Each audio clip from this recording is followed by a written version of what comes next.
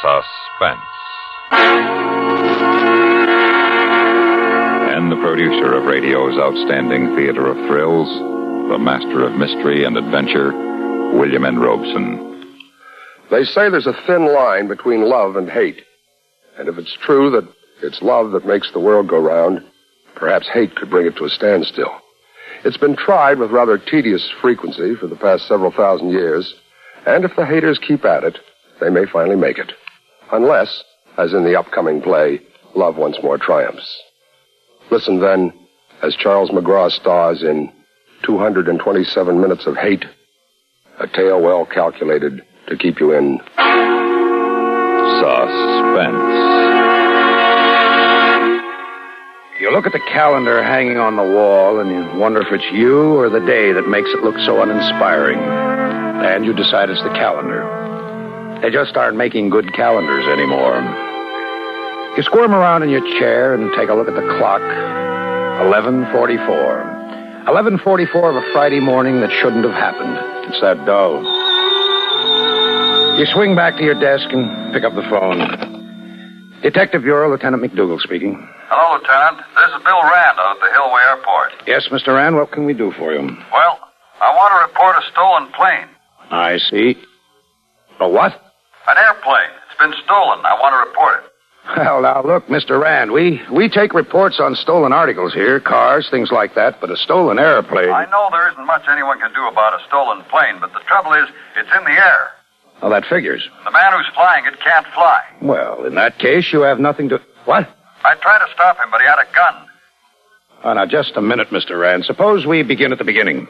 Well, this guy, he goofs around the field all the time, one of those hangar flyers. But today he showed up around 11 o'clock and said he decided to start taking lessons.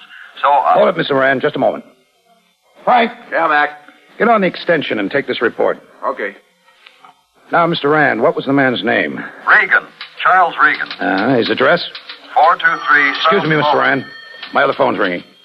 You go ahead and give the report to the sergeant. I'll be back with you in a minute. Okay. Hello. Detective Bureau Lieutenant McDougal speaking. Oh, yes. Yeah, yeah. Now, wait a moment. Where are you calling from? Yeah, I see. Yeah. Yeah, all right. Yeah, all right, fine, Mrs. Stevens. We'll see what we can do right away, and thanks for calling. Uh, Mr. Rand, Yes, Lieutenant? I think we found your plane. Oh, that's great. Where is it? Well, the lady I just talked to wasn't too accurate, but according to her, it was flying up and down in front of her house on Delaplane Avenue. Flying up and down? Well, that's the lady's way of putting it. I figure what she meant was that it was buzzing the street in front of her house. Good Lord, Lieutenant, he's liable to crash that thing. You got to do something. Yeah. Yeah, I think you're right, Mr. Rand, but there's there's only one thing I'd like to ask you. Yes? What would you suggest? Yeah, the man's right. You got to do something. But what? Reach out with a long arm and pluck the plane out of the sky? Put out a call to the radio cars and tell them to bring in an idiot in a stolen plane? You look at the report that Frank's taken and you try to figure out your first move. Any move. Here's the fellow's name and address. Yeah, it's probably a phony. No, I don't think so, Lieutenant. Rand said he got it off the man's driver's license. Yeah, well, we can take a run out there, I guess, but it isn't going to help us to get him down. Did Rand say anything to you about why he thought the guy wanted the plane? No, no, he, he said he acted fine until they got out to the takeoff line and warmed up the engine. Then he said the guy suddenly pulled this gun out and shoved it in his ribs and told him to get out. Mm-hmm. So he got out. What would you do, Lieutenant? I'd get out. I'll get it with you, Frank. Yeah. Uh, Detective Bureau Sergeant Kelly speaking. Yes, sir. Yes, we've already got a report on that, sir. Where are you calling from? The courthouse. Yes, sir. Yes, we'll do all we can, sir. Thank you. Now what? Plane just rolled his wheels on the roof of the courthouse. They got a panic on their hands down there. All right, Frank, get out a bulletin to the civil defense people. Alert the fire department, the sheriff's office, all of our cars. Tell them what we've got and to expect anything. I'm going to see if the Air Force can help us. You grab your phone and call the air base on the edge of town. It takes a little doing, but finally you get a colonel who's interested but firm. Look, Lieutenant, I assure you we'd like to help, but what can we do? Well, I thought maybe you could scramble a couple of your planes and, well, well, sort of head him off, make him go away from the city. I'm afraid our jets can't fly that slow, Lieutenant. Yeah, yeah, I, I see what you mean. Only somebody's got to do something to get this guy down before he kills a lot of people. Has he got a radio in his plane? I don't know. Wait- Wait a minute. Hold on a minute, Colonel. Frank, did Rand say anything about a radio in the plane? He didn't mention it, Lieutenant. We don't know, Colonel. Well, I was thinking that if he had a radio and he had it turned on the tower frequency, we could contact him from here. At least talk to him. Well, look, can you try it? If you can get him, maybe we can make him see what he's doing. What's the number and make of his ship? Uh, oh, wait a minute. I got it here in the report somewhere. Oh, yeah, yeah, here it is. It's a it's a Cessna single engine, number N4091. Is that what you want? That's it. If you want to wait on the phone, I'll have the tower put out a call right away. Yeah, yeah, fine. I'll wait. You sit there waiting for the colonel to come back, and the minutes tick by, and you try to figure out some way to do this thing right, and you can't. If he has a radio, if he has the radio turned on, if, why would he have it on? You listen to the phones, and you hear Frank and the other people in the office taking calls. They're coming in faster now, and they're all about the same thing. An airplane with a fool in it who seems to be trying to kill himself. If trying to kill himself, of course. But you can talk suicides out of it. You've done it more than once. Then the colonel's back on the phone again. No luck, Lieutenant. He either doesn't have a radio or he doesn't have it turned on. We called him on all the frequencies and there was no answer. I'm sorry. Yeah, well, well, thanks for trying anyway, Colonel. You you might keep calling. I'll do that. And if we raise him, where can we reach you? Call the detective bureau and ask for me. They can get me in my car if I'm out. And thanks, incidentally, very much.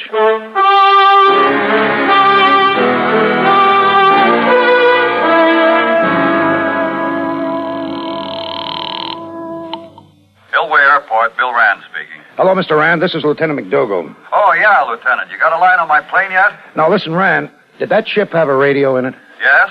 Well, good. Was it turned on? Yeah. You sure? Well, sure, I'm sure. I turned it on myself. Well, the airbase tower's been trying to reach the plane. It doesn't answer. It doesn't answer?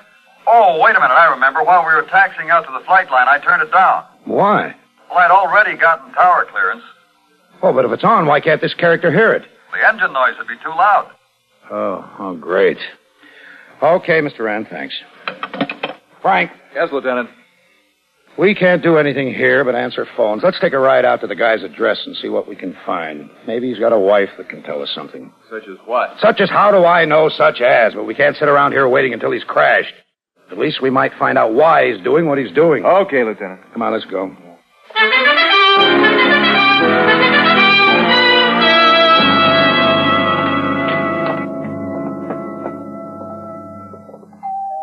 Nice looking place. Yeah, I hope someone's home.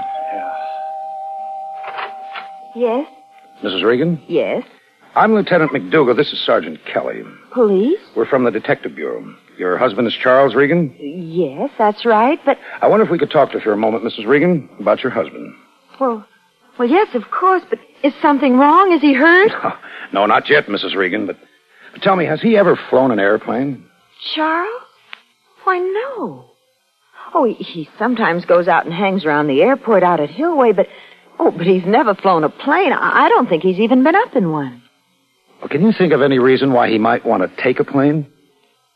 Take a plane? Fly one, Mrs. Regan. You know, take it up into the air. Now, what's this all about? These questions don't make any sense. Well, what's happened doesn't make sense to us either. Your husband went out to the Hillway Airport less than an hour ago, Mrs. Regan, and took an airplane away from the flying instructor, and he flew off in it. Oh, what? He could kill himself. Know any reason why your husband would want to kill himself, Mrs. Regan? No. Everything all right between the two of you? I resent that, Lieutenant. I'm sorry, ma'am, but sometimes we have to ask questions like Of that. Of course, everything is all right between us, only, Only what? well, Chuck, Chuck doesn't like people much. He sort of feels everyone's against him. He's so full of hate. And then this morning. What happened this morning? He was fired. Came home around 10.30 and told me he was fired Where did he work? at the television station. And What kind of work did he do there? Well, he, he's sort of an idea man. He thinks up scripts and ideas and all. He has a lot of talent. I'm sure he has, ma'am. Somehow they just don't appreciate him. When they fired him this morning, it was the last straw. He, it was like somebody I didn't know. I'll show them, he said. I'll show them I hate them. I hate them all. Does he hate you, Mrs. Regan? Oh, no, Lieutenant. No, Chuck loves me. Oh, no, I can't believe it. Of course, my, my husband was upset, almost sick maybe, but he wouldn't do anything like this. Wouldn't he? Well, look up there. N4091. That's the plane, Lieutenant. Is that your husband, Mrs. Regan? Yes, yes, I can see him. He's waving to me.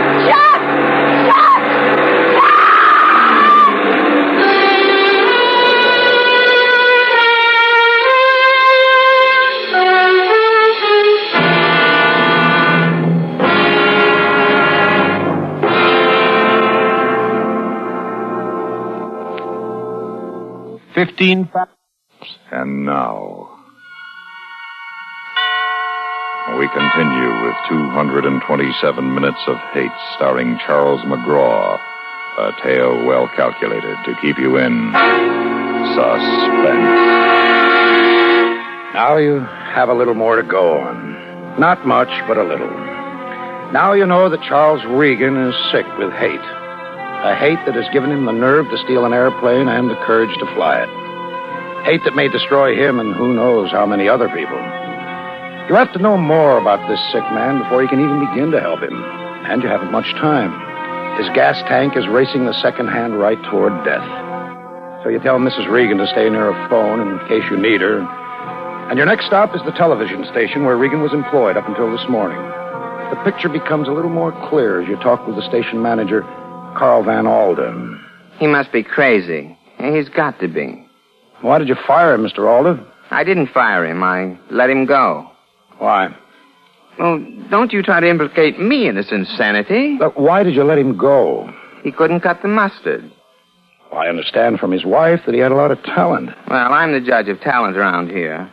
And in my book, if I ran this station on the judgment of housewives, I wouldn't be in business very long.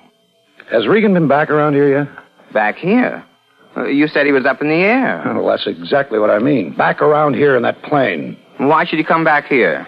Well, I've got the impression that Regan's awfully sore at someone. And my hunch is that that someone is you. A man has the right to run his business as he sees fit. Oh, of course, Mr. Van Alden. And a man has a right to get mad about the way you run your business. Now, if the man is mad enough to go out and steal a plane, he can't. Crazy enough, you mean? Perhaps. If a man is that mad, I got a funny feeling he wouldn't stop there. What are you driving at? I have a feeling that a man that full of hate would. Well, he would go for the man who hurt him. Hurt. Yeah, hurt. Like the guy who fired him. If I were that mad, I might even fly my airplane into the building where he worked. Nonsense. Yeah, well, maybe. But if I were you, I'd start thinking about evacuating this place. Evacuate? Evacuate the building? Why, that's absurd. Not if someone's thinking about flying an airplane down your throat. Lieutenant McDougal, you're a policeman. Naturally, you think of things from your point of view. But think of mine for a minute. I thought I was. Oh, I don't mean my personal safety. I have a public trust. I must stay on the air. And then, well, think of the miserable publicity the station would get if all of a sudden, in, in the middle of a broadcasting day, I shut down and ordered everyone to leave the building. Why, it could be embarrassing. It could be pretty embarrassing, Mr. Van Alden, if you didn't order your people out and your former employee flew his airplane right through your roof and killed them all. He wouldn't dare. He might. Well, I won't do it, Lieutenant. I will not be intimidated by a crazy man. Besides, I don't think he has the nerve. He had the nerve to steal the plane, and he sore at you. And he's flying around over the city like a punch-drunk moth. You don't think he'll do it? Well, I do. And I hope above everything else that I'm wrong. I'll put out some bulletins, Lieutenant. Warn the people about what's going on. I'll use what facilities I can, do a public service job, but I will not order an evacuation. That I will not do. Okay, at least it might have. Good Lord. You got an antenna on the top of this building, Mr. Van Alden? Uh, yes, of course. Two of them, as a matter of fact. Well, I think your friend just flew between them. He flies pretty good for a guy that doesn't know how to fly. But he can't do that. He he might hit them. He might. He might even want to if he's as sore you as I think he is. Well, you've got to do something. Yeah, yeah, I know. In fact, I heard that somewhere else today, and you know what, Mr. Van Alden? What? I'm beginning to get a little tired of it. Yeah, you're getting a little tired of it, and very tired of Van Alden. You can almost begin to feel sorry for Regan. But then he makes another pass in two hours, and you forget about being sorry for him. Matter of fact, you start thinking about getting out of there. Then Van Alden's secretary buzzes him and says there's a phone call for you, and you pick up the phone, and the colonel of the Air Force. I'm glad I found you, Lieutenant.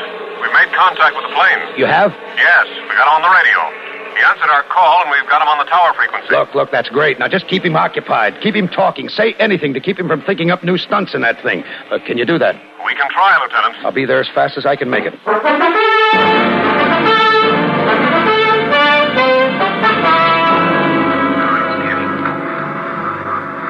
Air Force 306. You're clear for straight in approach. Traffic 3F86 outbound. 1T33 on final. Over. Roger, clear for straight in approach. Air Force 306. Hello, Lieutenant. I'm glad you got here so fast. You still got him, Colonel? Yeah, we've been talking to him. He's not too receptive. How'd you get him to turn up his radio? Must have been a fluke. Evidently, he made a fairly steep dive on something, and when he pulled up, his knee hit the volume knob. First thing we knew, he answered one of our calls. Why, uh, well, look, I want to talk to him. Can you get him for me? Sure. Try the Cessna again, will you, Sergeant? Yes, sir. Hello, Cessna 4091. This is Air Force Tower calling. Calling Cessna 4091. Come in, please, Cessna. Over. Hello, Air Force. This is me. What's on your mind now? Let me have that mic. Hello? Regan, can you hear me, Regan? Yeah, sure I can hear you. Who are you? I'm Lieutenant McDougal of the Detective Bureau. Now listen, Regan. I want you to fly that plane away from the city. Sorry, Lieutenant. I'm kind of getting to like it up here over the city, and I'm going to stay here. Look, Regan, you've got to think of the people who are going to get killed if you crash that thing into a building. I've been thinking of them, Lieutenant. And I'm sorry for them, but I got something to do that's more important. Listen to me, Regan. Go ahead, kill yourself if that's what you want to do. But don't kill a lot of innocent people while you're doing it. Lieutenant, you're wasting your time. I'm getting so I can aim this plane pretty well. As soon as I get tired of flying it around the city, I'm going to fly it right into those towers on top of the television station. I've been pretty close a couple of times. And when I get ready, I won't be close. I'll be right on target. Regan, Regan, you're acting like a kid who lost his lollipop. So you got fired. A lot of people get fired. A lot of people get fired and don't deserve it. But they don't go out and try to kill everybody. If you say you can aim that plane pretty well, okay. Okay, aim it towards the Air Force base on the edge of town. You ought to be able to find it. We'll get the crash trucks out and we'll do everything we can to. Save it, Lieutenant, save it. If you want to use those crash trucks, send them over to the television station. I'll give them a show they won't forget for a long time. Now, knock it off. You bore me. Regan. Regan! Listen, Regan. Answer me. His radio's still on, sir. I can hear the carrier hum. Yeah. Frank, Yeah, Lieutenant. Get on the phone and tell the boys to start evacuating the television station immediately. Right. And ask Radio Central to get a car to Mrs. Regan's house and bring her out here. Tell them to hurry. Maybe she can talk some sense into him. You light a cigarette and stand in the control tower listening to the babble of voices from the sky. And you try to think what you've left undone. The clock says 2.14. Two hours and 29 minutes since that phone call that started this nightmare, and you're no better off now than you were then. You suddenly think of Rand's report and the words gas aboard, approximately three hours. If he'd only run out of gas in the country somewhere, but you know he won't. You know he means what he said about flying down into the towers. And you begin to get scared.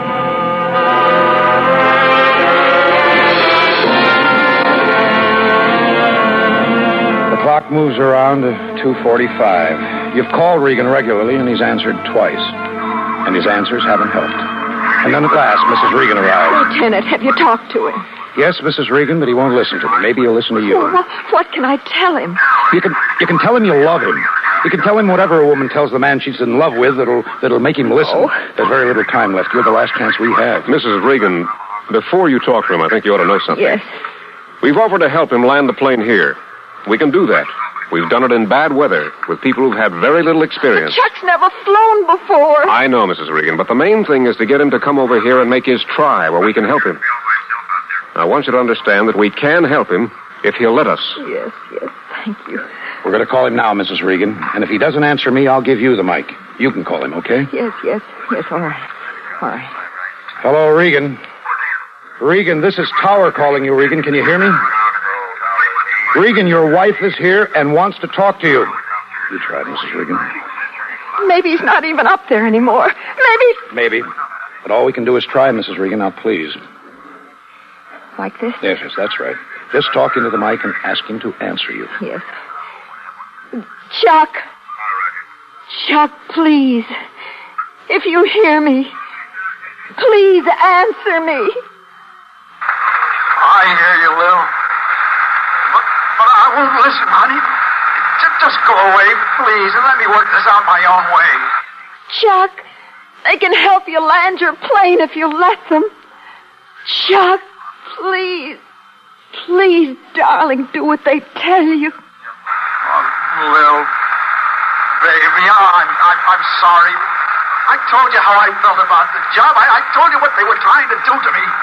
Darling, they weren't doing anything personal to you. Maybe they didn't understand you, but Uh, they, they talk, but they never come through. Well, I'm going to come through for them, Lil. I'm going to put this thing right down their throats. I'll give them something to remember Charlie Regan for. He's getting hysterical, Mrs. Regan. Make him mad or something. Say something to get him back. Chuck. Chuck, please. You can work somewhere else. You can get another job.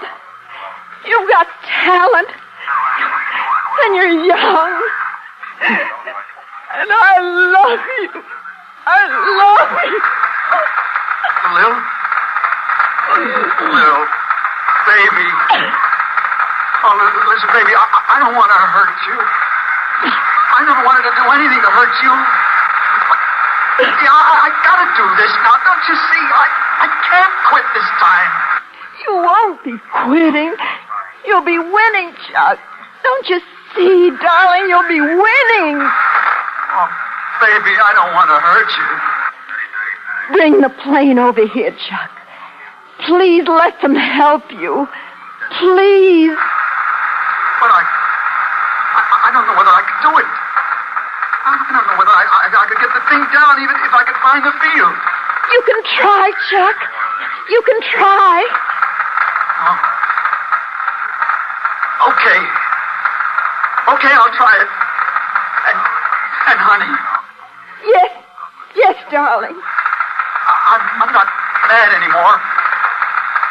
I'm just scared. And if I don't make it, please know I, I, I didn't want to hurt you. I, I, I never wanted to hurt you. I know. I know. I don't think you ever wanted to hurt anybody. We better try to get him over here. He hasn't got much gas left. Right. Take over, Sergeant. Talk him down. Yes, sir. Hello, Regan. Can you read me? Can you hear me all right? Yeah. I can hear you. Okay. Now, I want you to do just as I tell you. First, climb slowly up to 3,000 feet. Can you do that? Uh, yeah, I think so. The thing says 1,500 now. Is that the right one? It should be. Watch it as you climb and see if it goes up. Yeah, I've been watching it. It, it goes up and down when I do. Okay, that's the one. Now, can you see the field from where you are? Look around carefully and see if you can see a big spread out field with several runways. Long concrete strips. Yeah? Yeah, I can see it. You're pretty far away, but I, I- I think you're what I see. Okay, now keep climbing and steer towards us. Just take it easy and I'll tell you what to do. Now, I want you to get used to some of the things you're going to have to do when you start letting down for your landing. First, there's a small lever or a wheel. You watch in complete marked- fascination as the sergeant When you speaks. find it, Calmly, quietly, almost hypnotically. It's a lever. He makes it sound easy, almost like driving a car, and you begin to have hope. You actually begin to dare to hope that you'll work this thing out. Get this kid down out of trouble. Can you see what you're flying You look at the clock, and it's 307. Yeah, it's sort of scattered houses and, and what looks like a dry riverbed. Fine. You're about halfway here. Now, when I tell you, I want you to slow down and pull that lever down. I'll tell you when, but think about it so you can do it. Hey, the engine's sputtering. What? I think it's quitting. Listen to me, Regan. If it quits, keep the nose down and don't slow down under 80. It's quit. It's, it's all finished. Head for the river bottom. Keep the speed at 80 and head for the river bottom. If you can get there, slow down by easing back on the wheel and let her lose speed when you're right on the sand. I can't do it. I don't think I can do it. Chuck, please try. Please. I love you. What's his chances, Sarge? He could make it. He could make it if he remembers to kill his speed. I don't know. Don't worry, he'll make it, Mrs. Regan. I, I'm sure he'll make it.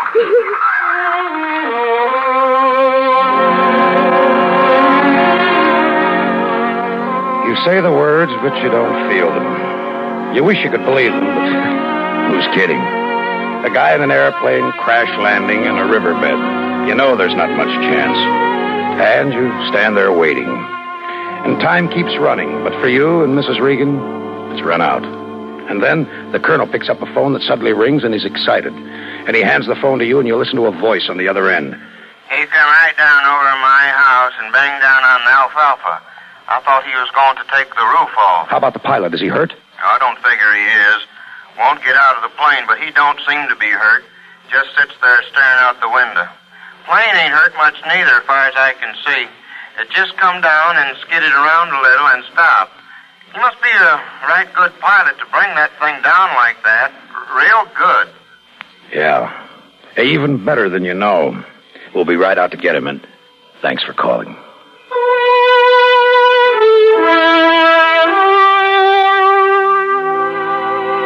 Well, you hang up the phone and reach for a cigarette. And you take the first real breath you've had since 1144 that morning. Three hours and 47 minutes of fear and terror for hundreds of helpless people because some guy let his hate get away from him. 227 minutes of hate. And you look at Mrs. Regan and you remember the way she sounded when she talked to her husband. Somehow you feel that it'll work out okay for Chuck Regan. Now that he's got rid of his hate,